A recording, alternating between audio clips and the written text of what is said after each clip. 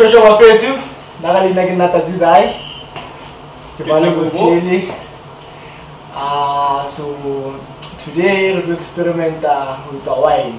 First experiment, um, watermelon wine in fact.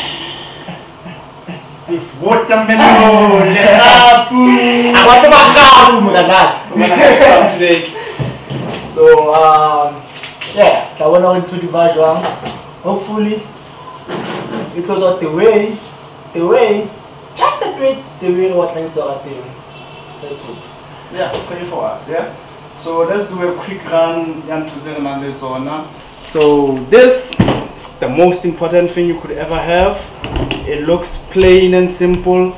You can make it at home. We wanna try customizing a few buckets and making some of these things, but it's what you really need. It's a fermentation bucket. As you see, it has that little hole there. We're gonna explain later on what that's for. You have your own tap there, a thermometer even there, comes in handy with plenty of stuff. Ne? Moving on to the next thing. You've got this, it's your airlock. It goes right in there. When the fermentation happens, this guy is gonna show you that it's really, really happening. You see action in here, you are fermenting, right? Next, we've got the yeast, my guy. Now we're talking high alcohol percentage, something around 15% alcohol. You're gonna get really hammered, my guy. Never doubt. Next, hydrometer. We measure the sugar level of this, and it also tells you the potential alcohol level that's gonna be in your wine. We've got fining agents to give it that nice, beautiful, clear color. We've got some nutrients there. We've got a stabilizer there. We've got some acid going. We've got some bentonite going. And lastly, we've got our sanitizing powder. Gotta keep it clean, otherwise you're gonna get people sick, ne? Remember that one. And we've got the watermelon!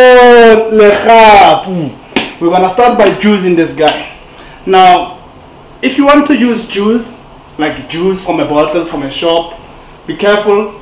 You might be having some preservatives in there that's gonna stop your fermentation from happening. So I recommend going natural. Get some juice, get your hands dirty, juice it yourself.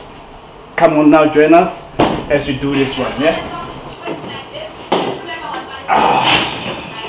We are cutting our watermelon so that we can juice it, get as much stuff as going out of it. And in the meantime, my brother is gonna be busy sanitizing our buckets and all the other equipment. And please make sure your hands are always clean. I've got some bleach water over there for washing my hands. I've got a sanitizing powder here as well. We cut, cut, we cut, cut, and we chop, chop. It's gonna be a messy, messy process. So I've got my sieve here. I'm gonna cut into this thing here and use a potato masher. Mesh, mesh, mesh so I can get the pits out. So sometimes what happens is the potato masher doesn't get the job done just right. And you gotta go in there with your own two bare hands and squeeze the juice out of it. Just just just squeeze the juices. After cutting out the flesh from the watermelon, whatever red part is left, don't leave it there. That's important. That's juice. Get the stuff out.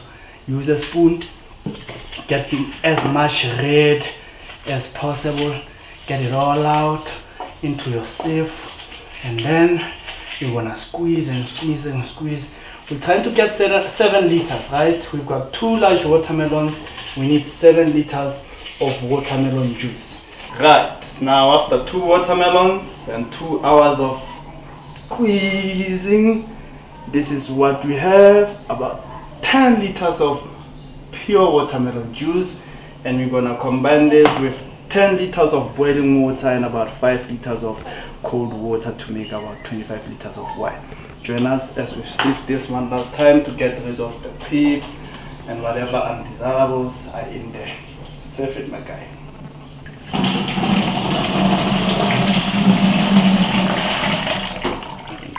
Pions gonna give us that nice light reddish, something like a sweet rose, you know.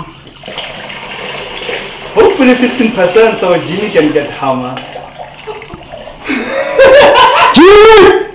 so guys, this is our hydrometer. We're gonna use this to check our specific gravity reading, which is gonna tell us the potential alcohol level of our beverage. Alright, we are right there. At 8 gives us 10% alcohol we prefer 15 but I think for the sake of the sugar we don't have 10 will do for now until next time